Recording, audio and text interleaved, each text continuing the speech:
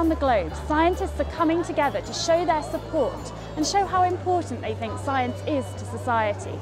Uh, and I think uh, anything that can draw more attention to science and to its role in ultimately protecting the planet and us is good.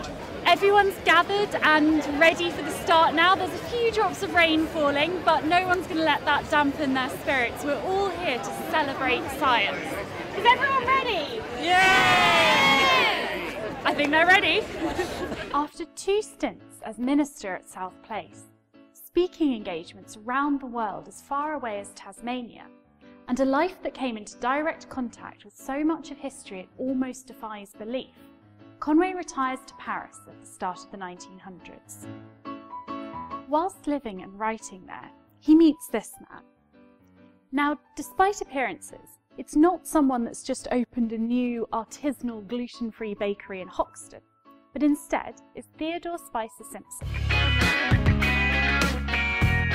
Hi, my name's Ginny. I'm a science writer and presenter, and my favourite topic to talk about is brains.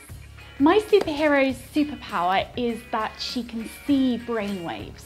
So all the time, whenever you're doing anything, whether it's thinking or even sleeping or moving, your brain is emitting energy in the form of brainwaves. And most of the time we can only see this if we rig you up with special headset um, and use an EEG machine and then you can see the waves.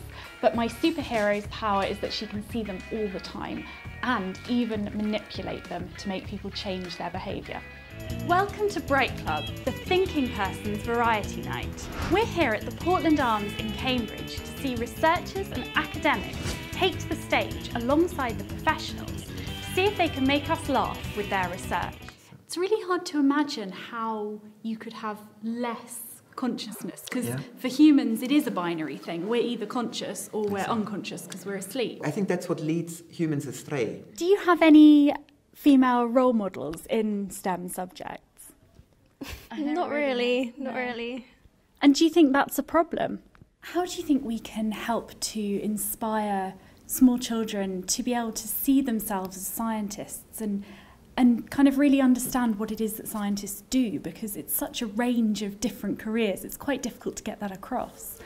Well, I think small children are, in a sense, natural experimental scientists. We've come to the laboratory of molecular imaging now, and I've had to change into these very fashionable scrubs and hairnet to make sure that I don't bring any outside pathogens into the lab. Thomas, what exactly is it you do here? It looks very exciting. It is pretty incredible to think that so much work and research has gone into something we all take for granted. And thinking to the future, it'll be really interesting to see how some of these amazing techniques can help us solve some of the huge problems that we're facing in the world today.